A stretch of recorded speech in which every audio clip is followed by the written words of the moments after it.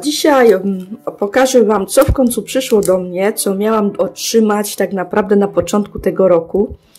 Ale wiadomo, jaka jest sytuacja, więc dostałam w pewnym sensie prezent na zajączka. I spójrzcie, są to nowe karty z serii Digimon Adventure. I sobie sprawdzimy, jak one się prezentują. Zobaczymy, jakich bohaterów spotkamy w tym zestawie kart. Wyglądają bardzo sympatycznie. Ja postanowiłam, że nagram ten odcinek taki, no taki specjal. Zobaczymy, jak mi to wyjdzie. Ale przede wszystkim może sobie coś opo poopowiadamy. A propos świata, wspominamy sobie serię Digimon Adventure, te różne serie, różne właśnie serie tego anime. Zobaczymy, możecie mi napisać, pod komentarzem pod tym filmem, która seria najbardziej Wam się podobała i no i zobaczymy jak nam to wyjdzie, ale przede wszystkim będziemy sprawdzać jak prezentują się najnowsze karty. Jest to anime, od którego tak jak ja kiedyś Wam powiedziałam, zaczęła się taka moja przygoda z filmem animowanym w tym sensie, że robiłam animacje takie fanowskie pierwsze, uczyłam się Adobe Flasha, więc ja bardzo dobrze wspominam tą serię. Seria ta ma też takie właśnie smaczki, że nawiązuje czasami do różnych mitologii. O właśnie, myślę, że zamiast nie tylko będę Wam prezentować, jak się, jakie mamy karty, ale może sobie, jeśli jakiś spór będzie przypominał jakąś postać mityczną, to trochę o tym powspominamy. Tutaj widzicie akurat jeszcze nieotwarte opakowanka, więc Zaczynamy. O, pięknie się zapowiada.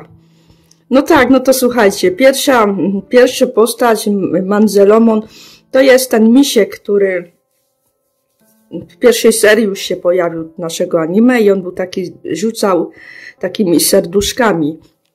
I w zasadzie, kiedy myślimy sobie o misiaku, który rzuca serduszkami, to przypomina nam się taka klasyczna animacja jak Troskliwe Misie, w, z, które też oglądaliśmy w TVN-ie. Ciekawy, czy twórcy anime się tym sugerowali. Mamy lewka. Czy to jest jakaś nowa forma Leomona? Liamon ma dwa ogony, więc może to troszeczkę wspólnego z rozdwojonym kotem Nekomatą w wersji takiej lwowej. Oczywiście jest to postać z mitologii japońskiej. Jeśli lubicie post-apo, no to mamy tutaj akurat właśnie Andromona, Łowca Androidów, że kojarzycie takie filmy w tym, tym stylu, więc może coś takiego. O, Mroczny Patamon, uroczy.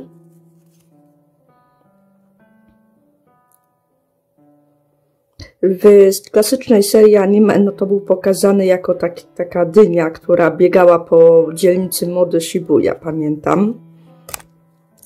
Z Halloween to oczywiście jest taka aferka, że jest to święto oczywiście amerykańskie i no, niektórzy uważają, że nie powinno być ono obchodzone w naszych stronach. Repamon. Mhm. W pewnym sensie można powiedzieć, że jest to taki y, lis kitsune z mitologii japońskiej. Dziewięcioogonowy lis i tym mm, więcej ogonów ma lis, tym bardziej może być niebezpieczny. To tak a propos stworka mitycznego. Woodmon właściwie, czyli drzewo. W nowej wersji anime one są pokazane jako takie właśnie drzewa, które mieszkiwały pewną puszczę. O, Holy Dramon. Akurat tutaj napisane jako Magna Dramon, czyli mamy imię z, z wersji angielskiej. Magna Dramon to jest smok, który przypomina trochę kozę. I z tego, co jeśli pamiętacie, to wcześniej, w wersjach wcześniejszych tej postaci była ona angielicą, a jeszcze wcześniej kotem. W nowej wersji anime prawdopodobnie nie pojawi się Magna Dramon jako właśnie smok, tylko Gatomon będzie miała prawdopodobnie wersję Anielicy, właśnie nową ewolucję Anielicy, ponieważ jest to anime według tych twórców osadzone trochę w innej osi czasowej. Biomon. Na razie nie mamy powtórek.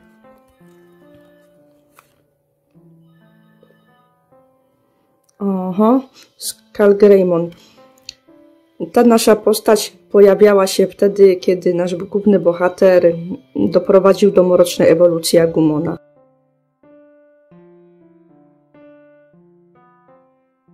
Ten prymus. Myślę, że ta postać zupełnie nie została niezmieniona w nowej wersji anime, a reszta bohaterów dostała jakieś takie nowe cechy. Joe jest trochę fajtu łopowaty nadal, Gomamon nadal mu żarty sobie z niego stroi i to jest fajna sprawa. Akurat ta postać moim zdaniem nie została skrzaniona. W ogóle nie, powiem tak, oglądam tą nową wersję tego anime i wolałabym dostać stary, staromość czasu, z wiadomo, z dostosowaniem, że to jest akcja teraz się dzieje w XXI wieku, a nie w latach 90., jak było w oryginale. No to oglądamy kolejne karty. Mm, myślę, że jest sympatycznie. Kapurimon. Ona się pojawiała w Digimon Tamers i Digimon Tamers miało taki cyfrowy świat, który przypominał bardzo Matrixa moim zdaniem. W ogóle połączenie, w ogóle tak zawsze żartowałam, że mm, Digimony to są taki Matrix dla dzieci. No bo dane cyfrowe i takie różne właśnie, zwłaszcza nierealne rzeczy. Mhm, mhm. Ten Digimon Strażnik Robot, tak będę mówić po polsku troszeczkę, w starej wersji pomagał chronić właśnie y, takie właśnie jajka, pisanki, z których wykluwały się Digimon, Digimony. W nowej wersji on bardzo smutno skończył, by walczył w obronie Mimi, tej bohaterki w kapeluszu. No i to była bardzo taka scena, jak to się mówi, jak to się mówi, taka smutna. A ten Digimon Kudamon, ta postać pojawiła się w mojej animacji fanowskiej, tak samo już była. Mój Kudamon miał trochę inne umarszczenie, ale słuchajcie, to jest ta łasica, to jest genialnie świetna postać. I kolejna ewolucja to jest taki chiński smok dosłownie. A w zasadzie nie smok, tylko jest takie zwierzę, kirin, które jest chińskim i azjatyckim odpowiednikiem jednorożca. I po prostu jedna właśnie z jego ewolucji to jest kirin też. I to jest świetne, y, świetne w ogóle mityczne zwierzę. Mało tego, kirin y, azjatycki to jest taki właśnie bardziej potężny, bardziej przypomina właśnie nosorożca niż konia i to jest świetna, świetna postać. I no mówię, to jest Kudamon, w ogóle sama postać Kudamona w takiej serii Savers, jeśli dobrze kojarzę, Savers. Tam byli tak jakby policjanci ze swoimi sportkami i to było bardzo fajne. O, to ten, te, te, ten, ma, y, tak, on ten, te maszyny, on był razem z Andromonem. Elekmon. No i kolejna postać, którą sobie świetnie można powspominać. Super, że mi się nie powtarzają postacie.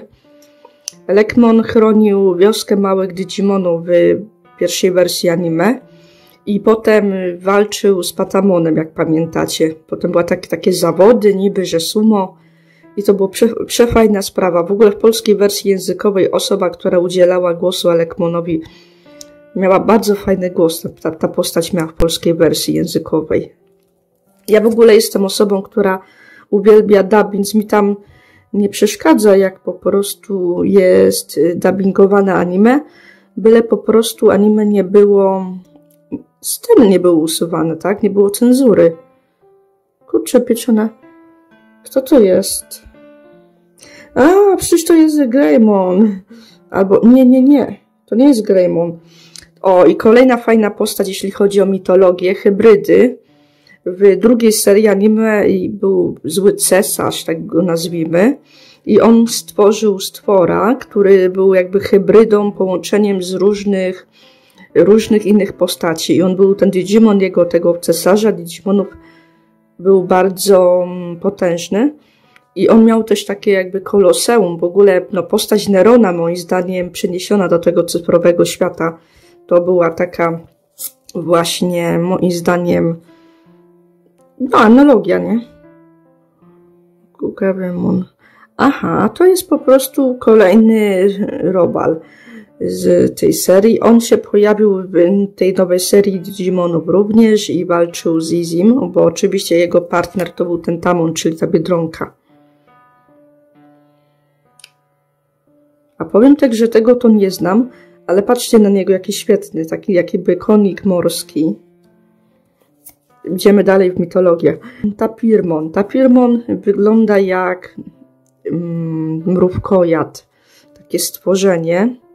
No i Tapirmon, czy ja znam jakieś mity z mrówkojadami? Oj, bardzo mi przykro, nie znam. Ale jego wyższa ewolucja to był Wizardmon, ten czarodziej, który pomagał Gatomon. Tak. Mm, Jagamon. On bardzo lubił, w nowej serii anime jest pokazane, że on uwielbia jeść frytki i jego on wrzuca w ogóle ziemniakami. I kiedy jeden mały Digimon potem zamienił się w tą postać, to właśnie on, on wpadł w szał, że w pewnym fast foodzie, w świecie tych stworków brakło frytek. Myślę, że ten, ten, ten, ten odcinek powstał po to, żeby nasz prymus, Joe, którego tam wcześniej widzieliście, miał w końcu jakieś ciekawe zajęcie. No i on oczywiście wspominał, że kiedy chodził na egzaminy, to jego kieszonkowe starczało mu tylko na frytki. O Mimi, kolejna bohaterka. To jest właśnie ta postać w kapeluszu, o której wspominałam przy okazji strażnika Digimona. I ona, i ona się trochę zmieniła w, w porównaniu z oryginalną wersją anime. Wydawało mi się, że Mimi aż tak bardzo nie ciągło do błyskotek, jak w tej wersji nowej, ale co, też co bardzo fajna sprawa, wydaje mi się, że Mimi w tej wersji anime jest mniej samolubna. Kiedy mm, była pewna sytuacja, to ona przypomniała sobie o dziadku, który był chirurgiem i ona też się potem chciała poświęcać. W starej wersji anime tego nie ma. No w ogóle, w ogóle wydaje mi się, że postacie ludzkie są bardziej pokazywane jako bardziej takie pozytywne. Tutaj mamy po prostu wskazanie na atak po prostu jednej z postaci i nie jestem w stanie do końca powiedzieć, kto to jest, ale spójrzcie, jakie fajne, jak się fajnie to błyszczy. Czyli to, prawdopodobnie wy na przykład widzicie lepiej niż ja tutaj na mojej kamerce. Aha, czyli tutaj jesteśmy, bo okej. Okay. I mamy kolejne, kolejne karty. Dobra, mam nadzieję, że trafi się jakiś naprawdę stwór z mitologii, bo ja tutaj chcę wam o mitologii trochę poopowiadać. Mieliśmy właśnie Kirina, czyli właśnie tego jednorożca azjatyckiego. Niech będzie jakaś mitologiczna postać, mi się trafi coś fajnego i niepoprawnie politycznego. Słuchajcie, przecież on jest ogrem. Jakie znamy ogry? Ogry znamy na przykład Shreka, prawda? Była animacja Shrek na przykład. Ogry to jest taka postać właśnie ze średniowiecznej mitologii, tak byśmy powiedzieli. Zielony stwór. I mm, co jest dość ciekawe, ogry japońskie bardzo przypominały takich jaskiniowców. Oczywiście to jest akurat tak jakby mały ogr, bo w samym anime to był jeszcze ten ogremon, który miał takie zęby harczykowate, charakterystyczne. Holy mm, Wave. Aha, czyli to jest po prostu atak jednego z aniołów, no. W ogóle, no, Japończycy uwielbiają, jak się tutaj widać po tej serii, sięgać właśnie do różnych wierzeń. Niekoniecznie muszą wierzyć w tej istoty, ale są inspirujące dla nich. Diabły, upadłe diabły i diabły tak, i anioły, czyli jeszcze upadłe anioły, który na przykład był taki postać Lucemon w serii Frontier, gdzie był dosłownie tak jakby pół szatanem już, był takim upadłym aniołem, a pół Lucemona wyglądało jeszcze jak taki słodki kupidynek, taki słodki aniołek. No i tutaj mamy wirusy, które pojawiają się w nowej serii, którą tutaj oglądamy. I tutaj jest oczywiście nacisk na takie sprawy, które teraz obecnie obijają się w mediach, że na przykład właśnie jakieś tam możliwości, że ataki hakerskie do uzbrojenia wojskowego, to ta seria lubi się bawić takimi rzeczami, dlatego przeróżne wirusy, które Digimony namnażają się, że powodują problemy w programach komputerowych, zwłaszcza tych, które mogą odpalić broń atomową, nie? Nie fajna sprawa. Znaczy nie fajna sprawa, że broń atomowa istnieje, ale że ani, twórcy anime sobie mrugają okiem do takich problemów, to, no to ciekawa. No Wimon, no to smok. No to smogi to jeszcze na dodatek taki smog europejski, bo on w kolejnych ewolucjach to się zamieniał w takiego smoka, taką postać, takie gargulca bardziej, jak było w katedrach Notre Dame, takie smoki. Tak. No i tutaj jest tak naprawdę kolejny smok, po prostu jego dalsza, dalsza ewolucja pokazana jako, jako po prostu, jako po prostu, no, dalsze wcielenie Bimona, smoka. No i mamy Aquali Limona. No i to jest fajna sprawa, bo to jest kwestia oczywiście jastrzębia, sokoła, wierzeń indiańskich, dlatego on ma piórko indiańskie, no i on ma rogi takie i to trochę ma związek z totemami, że totemy indyjskie to czasami na przykład była postać jaszczębia i miała na przykład właśnie rogi czy inne elementy. Wierzenia przemycone troszeczkę w rdzennych Amerykanów, prawda? Mm, tak. No, tu mamy na, tak naprawdę smoki, możemy tak powiedzieć, bo tu są greymony tak naprawdę. Dwa. No i, no, no i pojedyncze, czyli dinozaury. Dobra, i też jeszcze na koniec pokażę tego wirusika. Pojawia się znowu w tej serii nowej. Tej postaci przyznam się, że nie znam, nie wiem jaką mitologię by tu powiedzieć. No, nowy Greymon, czyli nowy ten, ten bohater, ten główny od Agumona postać.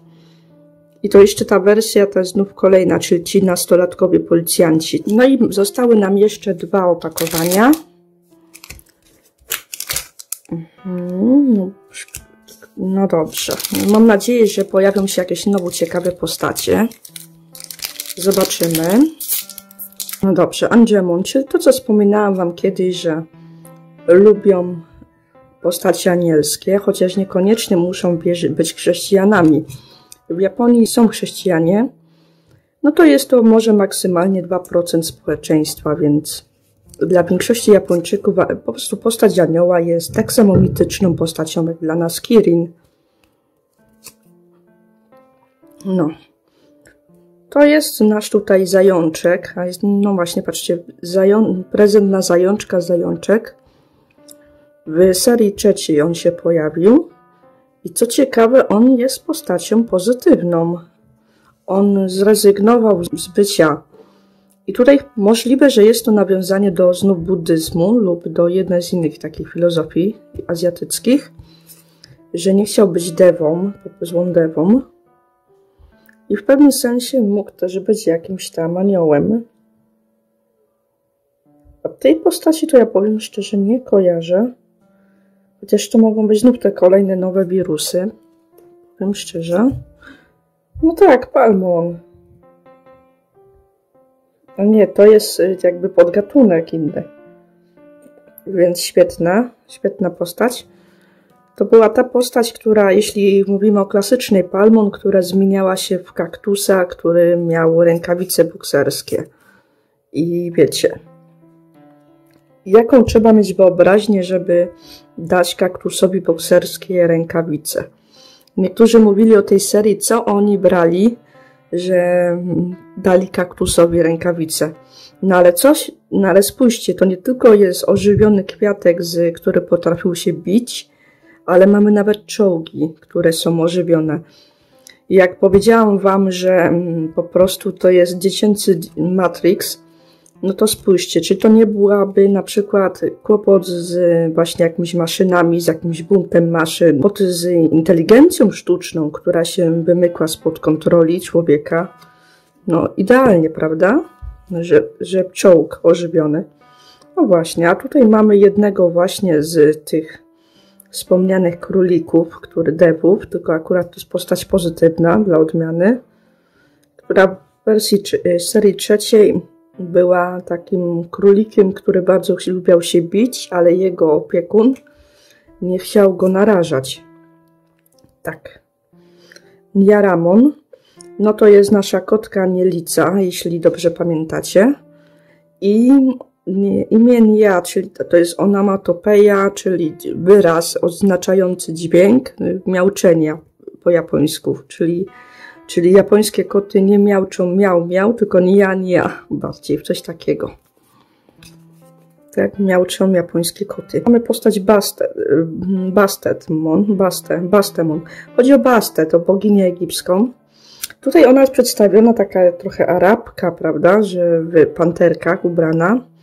Ma bardzo charakterystyczny design, taki, no właśnie mówię, taka niby arabka w tej troszeczkę. Ale Bastet to jest egipskie bóstwo ogniska domowego, które było pokazywane jako postać kota. Właśnie bogini dom, ogniska domowego, postać bardzo sprzyjająca tak naprawdę każdemu Egipcjaninowi. I ona miała no, opiekować się domem, zapewniać urodzaj troszeczkę, a już na pewno nie to, żeby w domu brakło pożywienia. No bo koty w końcu polowały na gryzonie, nie? I zapobiegały w ten sposób temu, że się marnowały zbiory. Przeciwieństwem Bastet w mitologii egipskiej byłaby Sachmet, czyli bogini wojny. I wyobraźcie sobie, że Sachmet była przedstawiona jako lwica, czyli i była postacią, która najpierw się pojawiła, bo dopiero potem, bo lwy były wcześniej, no a dopiero później Egipcjanie odkryli, że można kota udomowić. Więc super się złożyło, że mamy małego kotka, no i mamy boginię egipską. Bastet jako oryginalna Bastet z, z Egiptu byłaby o wiele moim zdaniem fajniejszą pomysłem na tą postać.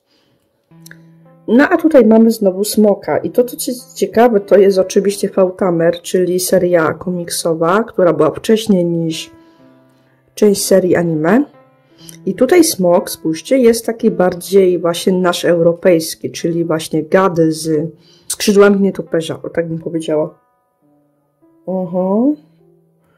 Nie wiem, kto to, co to za postać, ale moim zdaniem to jest japońskie pokazanie Lucyfera. No zobaczcie, diabeł. Ale, ale jaka diabelnie ładna karta. Pomimo wszystko, że diabeł, a, a taka no i, no i lista wybryków. No i mamy ostatni nasz tutaj yy, paczek. No i sprawdzimy, co się, kto się kryje w tym paczku. No i tak jak opowiadam Wam, będziemy dalej szukali jakiegoś fajnego, jakiejś fajnej postaci. Jakiejś fajnej postaci z mitologii. No, druga seria, din powiedziałem, że dinozaury, więc na razie mamy nasz totem, więc się powtórzył. Totem się powtórzył, szkoda troszeczkę, że się powtórzył. Jest jakiś atak, nie jestem w stanie powiedzieć o co chodzi. Stworzenie przypomina małego pingwinka. Może jakiś mit o ptakach, nie lotach. O, super. Patrzcie, Hawkmon. Hawkmon. To jest oczywiście ewolucja wcześniejsza naszego totema, ptaka. No i zobaczcie, i on dosłownie ma oczywiście na głowie piórko, trochę tak jakby stylizowane na wojownika indyjskiego. To jest, to jest to, co mówiłam wam, że to jest, a jego w ogóle przyjaciółka, to ona nosiła taką też czasami czapkę kojarzącą się ze Stanami Zjednoczonymi, więc uważam, że to, że się trafił taki, a nie inny jej bohater do pomocy, to nie jest przypadek. Hmm, ciebie... Kurczę, nie wiem, karta świetna. Nie wiem, jak to, co, jak to zinterpretować. Oczywiście po, mamy tutaj. Uznałabym, że kolejne podejście do kwestii Halloween przez Japończyków. Halloween, podobnie jak u nas w Polsce, dla Japonii to jest po prostu święto takie komercyjne. Więc. No więc tak to widzę. Uznajmy, że kolejny mały dinozaur. Jak nie Matrix, to wam to dinozaury, to po prostu... No i mamy małego naszego smoczka, ale jak uroczy i jego jeszcze wcześniejszą formę. Tego smoka, tego właśnie tą postać z tej katedry, tego Wimona, jak wam wcześniej wyjaśniałam. Fajna, fajna sprawa. Uciekł z, z planu kadrowego. Hmm. Powiem tak, on jeszcze się chyba w anime nie pojawił, ale to jest kolejny anioł. O! Słuchajcie, no i mamy smoka, w którego zmienia się Wimon, czyli właśnie tego takiego smoka coś jakby europejskiego, ale bardziej on przypomina te właśnie gargulce, te rzeźby fantastyczne, które były na świątyniach po prostu pokazywane, na przykład w katedrze Notre Dame. Takie gargulce, taki smok gargulec. O nie wiem, czy to za postać, chyba bardziej jakoś atak znowu. No i tyle. No i moja ulubiona to jest oczywiście Kudamon. Postać generalnie jest bardzo fajnie zaprojektowana, ponieważ ma bardzo fajne kolory. No bo ja sobie tutaj te karty położę obok. No bo spójrzcie, Kudamon jest biały. No i elementy tej postaci to tak naprawdę tylko kolor żółty. Odrobinę czerwieni, bo on ma taką troszeczkę ten... Chociaż nie, no jak pamiętam anime, tak, odrobinę czerwieni, jeśli chodzi o ten kolczyk, który ma na uchu. No i elementy na jego ciele też są złote. I ma ciemne pazurki. To jest, no mówię, aha, no i uszy, uszy to mi się trochę kojarzą z uszami Pikachu, bo on ma takie uszy też długie i z ciemnymi końcówkami. Mm, na tej karcie chyba tego nie widać. A może widać, może ja sobie... Hmm, widać, coś widać, ale to jest dość zabawna sprawa, bo Kudamon ma końcówkę ogona po prostu taki jakby pergamin, taki brelo, taki jakby mają te y, grzechotniki, taką jakby grzechotkę i on też ją ma tak do, do wykończenia po prostu designu tego bohatera. Gdyby Kudamon nie miał łapek, bo ma małe łapki, a w zasadzie to on ma takie łapki bardziej widoczne z przodu, a nie z tyłu ciała, to też mi się kojarzy taka postać jak padalec, taka beznoga jaszczurka. Więc na upartego można powiedzieć, że to jest albo łasica, albo właśnie padalec. Co sprawia, ale z drugiej strony ma bardzo właśnie taką miłą, miły, miły pysz. Ja kojarzę tą postać z anime i ona mi nie pasuje na beznogą jaszczurkę, bo jaszczurka nie ma takiego miłego pyszczka, natomiast łasica ma. Taką, taką, on ma taką właśnie delikatny pyszczek z noskiem różowym nie wiem, czy jako, jako gad to już nie byłby taki całkiem sympatyczny, więc myślę, że to jest tak pomimo wszystko łasica. I bardzo mi się ta łasica podoba mm, jako postać. No, mamy naszego ptaka totema. Tak, myślę, że on. Przez to, że bardzo właśnie fajnie, że przypomnieli o mitologii właśnie Indian, przez to, że on ma te rogi, i, ten, i przez to ten jastrząb jest taki bardzo charakterystyczny i jako postać w ogóle z anime jest fajnie przedstawiony. Więc myślę, że ten odcinek wygrywa Łasica i Jastrząb. A wy jakie macie ulubione swoje postacie z serii anime? Ze wszystkich tych serii, bo, bo jak widzicie w tym zestawie też pojawili się ludcy bohaterowie, pojawiły się te słynne anioły, Pojawiły się też właśnie przeróżne wersje tych aniołów. Mamy diabła nawet, Lucyfera, nas demony i anioły i Matrix dla dzieci. No innymi, innymi słowy, Bunt Maszyn też oczywiście był. Nawet na naszej karciance wyszło, że Bunt Maszyn był. Więc jaka jest wasza ulubiona seria Digimonów? Jaka jest ulubiona wasza postać? Jakie macie wspomnienia z tą serią? Czy uważacie, że podobnie jak ja, że nową serię, tą, ten remake, który to teraz robią, ten jakby powinni tak naprawdę bardziej sugerować się dawną osią czasu? Co najwyżej może pewne sceny inaczej pokazać. Uważam, że za bardzo pozytywnie miejscami pokazują niektórych bohaterów. W tej serii najlepszy jest Joe. Ten prymus. Więc zobaczymy, jak się seria jeszcze rozwinie, ale już jestem naprawdę, jesteśmy w. Podejrzewam, że już byliśmy, że na półmetku już jest, na pewno jesteśmy, więc kurczę, taka fajna seria, więc no mówię, jeszcze może, jeszcze może mnie, mogą mnie zas, miło zaskoczyć, ale naprawdę de, uważam, że skoro Joe, chociaż Joe, nie no, Joe jest bardzo fajną postacią pomimo wszystko, więc może i, i dobrze. Ale relacje Yamato i Taichego, czyli tych właśnie głównych bohaterów, Hikari, która pojawia się w cyfrowym świecie, a w starej wersji to mieliśmy przepiękny w ogóle epizod, jak te wszystkie stwory i ci ludzie, i potem to całe Tokio było pokazane tak naprawdę, przynajmniej ta dzielnica, w której bohaterowie mieszkają, było świetnie pokazane, w ogóle charakterystyczne obiekty, no i te smoki latające nad tym Tokio. Ja wiem, że pod, kąt, pod kątem animacji to jest masa pracy, nawet to rysowanie tych teł tak naprawdę. Ale kurczę, taki epizod, jeszcze Wizardmona nie ma, nie ma Wizardmona z Gatomon. No po prostu, no nie, nie rozumie tego.